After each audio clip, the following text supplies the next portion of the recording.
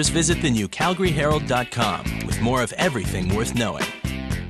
Uh, Ken, this is known as the Jim Hunt Memorial Question, and if uh, Mark, if you've changed your answer from last year, please feel free to contribute.